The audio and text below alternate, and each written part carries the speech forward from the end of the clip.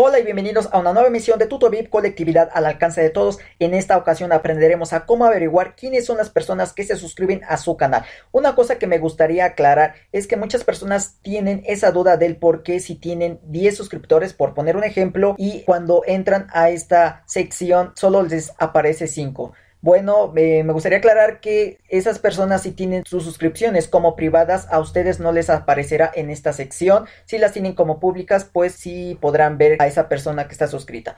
Algo que me gusta mucho es que YouTube te permite eh, elegir por suscriptores recientes o por suscriptores más populares. Eso quiere decir que son las personas que tienen más suscriptores y que están también suscritos a su canal. Bueno amigos, básicamente eso es todo, es un video muy corto y muy sencillo, espero que les haya gustado y déjenme pulgar arriba y nos vemos hasta la próxima.